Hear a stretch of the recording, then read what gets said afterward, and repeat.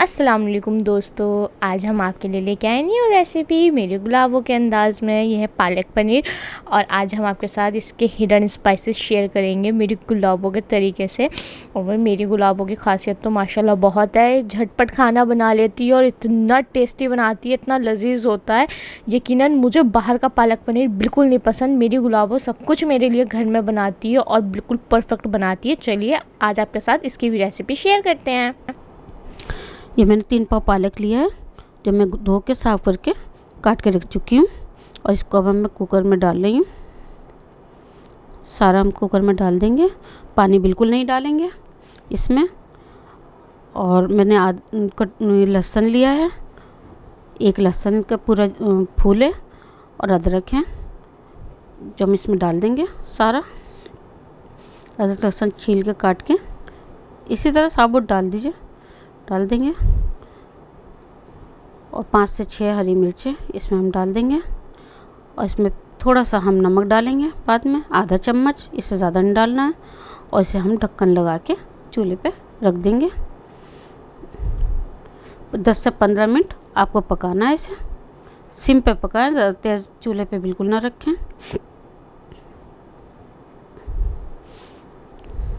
ढक्कन लगा के हमने रख दिया है चूल्हे पे।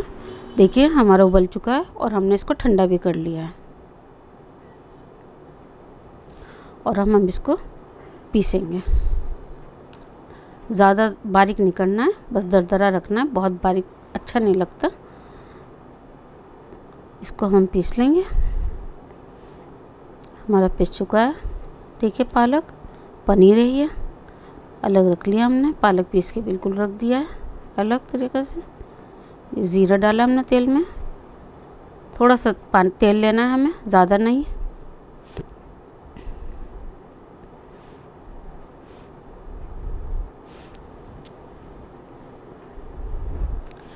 इसमें हम आधा चम्मच अदरक लहसुन का डालेंगे। मेरे चम्मच में ज़्यादा आ गया था, इसलिए मैंने कम कर दिया। और इसकी थोड़ा हल्के बुनाई करेंगे। ज़्यादा बुनाई नहीं करनी है। अदरक लहसुन को ज़्यादा भूनना नहीं चाहिए। हल्का सा भूनते हैं बस।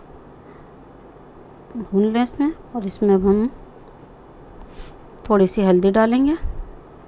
मेरा छोटे चम्मच है तो आप मेरे मसाले के डिब्बे में पड़े हुए उसी के हिसाब से मैंने डाले हैं। एक चम्मच लाल मिर्च, एक चम्मच हल्दी ली थी।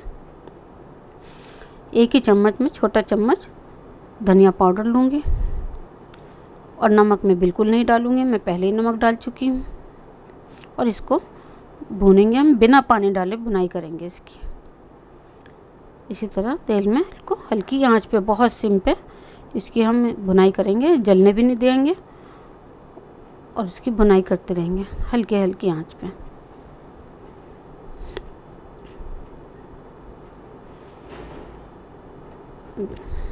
देखिए, मेरा बिल्कुल नहीं जला, हल्की आँच पे करें और इसमें अब हम पालक जो पिसा हुआ रखा था हमारा, वो हम डाल देंगे।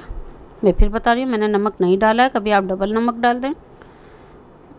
मसाले में मैंने बिल्कुल नमक नहीं डाला, पालक में ही उबालते हुए नमक डाला था। और अगर आपको मसाले में डालना हो तो पालक में मत डालना। उसको अब हम पकाएँगे। सारा मसाला अच्छी तरीके से मिक्स कर देंगे पालक में। और इसको हमने पकने रख देंगे।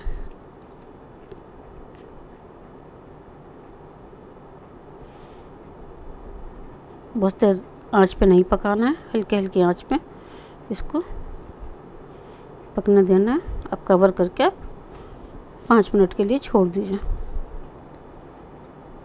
ठीक है हमारा पक रहा है पालक अच्छी तरीके से और इसकी भुनाई करती रहनी है हमें। पानी सूख जाए, इसका ज़्यादा नहीं हमें रखना है पानी।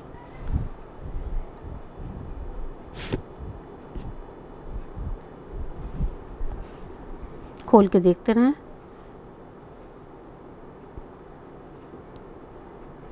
भुन चुका है हमारा ये मसाले में अच्छी तरीके से पक चुका है। मम्मी पालक पानी छोड़ता है? पालक बेटा बहुत पानी छोड़ता है तो इसलिए पहले इसको में पानी नहीं डाला जाता। अब हम पनीर इसमें डाल देंगे।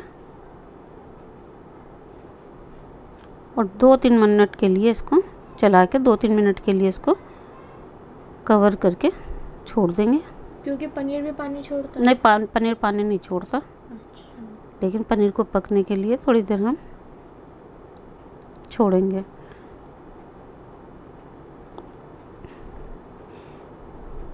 इसको कवर कर दिया आप देखिए। बिल्कुल खुश्क भी हो गया ये और तैयार है। और पालक पनीर। खा के बताइएगा ज़रूर कैसा बना है।